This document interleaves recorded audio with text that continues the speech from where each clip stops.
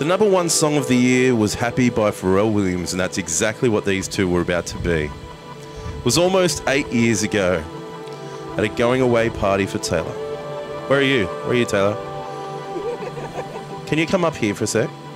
Yes, I know I'm going to embarrass you. No, I'm not going to embarrass you. Just come up. So you get today's Cupid Award because you were the one that introduced them. So congratulations on your award. That's a prestige award. That's um, from a two dollar shop.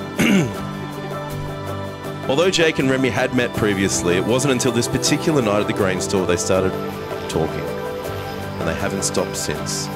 What followed was a half first date rock climbing despite being incredibly afraid of heights.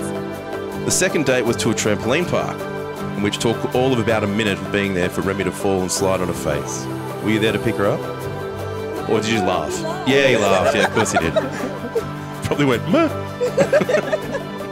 A third date where I accidentally poisoned Jake because we went to an Italian restaurant and it turns out he's allergic to olive oil. Which finally culminated in the most romantic spot ever for our first kiss. The dance floor at Fanny's. Finnegan, sorry. Jake, ever since I was little, I've always dreamed of adventure. And standing in front of you today, I know that spending my life with you. God damn it. the greatest adventure I could ever have. There's so many reasons I love you. You're kind, you're loyal, your goofiness. The way that you see the world completely baffles me, but I still love you for it. I love that you take care of me, even when I try and drop and catch a knife with my foot. I love that you make me feel safe enough to be completely myself. The good, the bad, and the weird. You're my favourite human, my teammate, my best friend, and my home. I can't wait to start the rest of our life together and start the next chapter of our story, which I'm sure is going to be a long and epic one. Remy. I invited you here today because you're the most beautiful, intelligent, and fun woman I've ever met. I love that you challenge me to be more adventurous through your love of traveling and also the way that you challenge me with your chaotic thoughts. I promise to always try my best to look after you and make your life easier wherever I can. I love you. To love, laughter, and happily ever after. Remy and Jake, I now pronounce you husband and wife.